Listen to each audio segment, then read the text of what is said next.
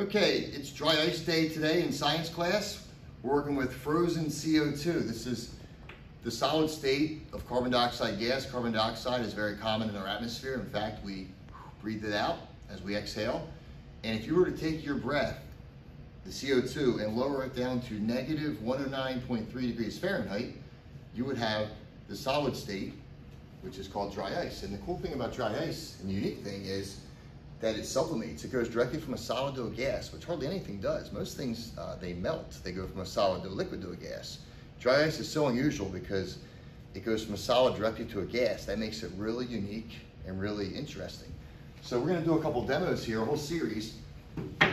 And first of all, you can see the sublimation. You can see the CO2 gas coming off of the solid chunk and then and then sinking because dry ice is more dense than, than the air. We can really make this more dramatic by putting it in warm water. If we drop it into warm water,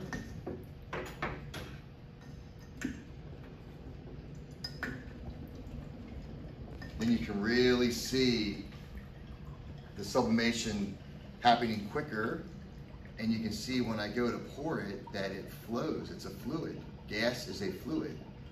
So you can really see that. It here, I can pour it onto my hand. I can pour it onto these roses. You can really see how the CO2 gas acts like a fluid. Very cool. Okay, if we want to take it to the next level, we can add some soap. Add a few drops of Dawn soap. And now we're going to the next level all these bubbles come out. And if you go to hold them, they start to shrink and then you pop them. Very satisfying. Very satisfying. Okay, so this will keep going until the dry ice is all sublimated. So very cool. Next level. Next level. Okay, very neat. Now, if we want to take it to the next level, which we're always looking to take it to the next level in science class, okay, we can go over here and do what we call boo bubbles. Okay, boo bubbles. I'm going to take a piece of dry ice, which we handle with tongs, because if you handle this for longer than five or 10 seconds, you could burn your fingers, so we're going to be careful and handle the tongs. Put a piece in there. Okay, put another piece in.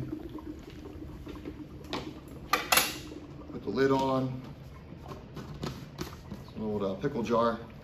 See the gas shooting out? Put it in this detergent. Now we have these really cool boo bubbles. I'll get it. I will get it.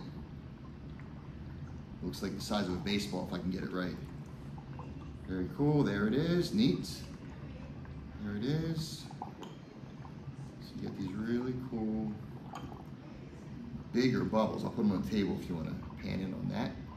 These base, these bubbles the size of baseballs. Have a lot of fun with this. I usually have my students come one by one and I put a bubble on their wrist and they can examine it. So we call those boo bubbles. Very cool. All right, next one, we're gonna make a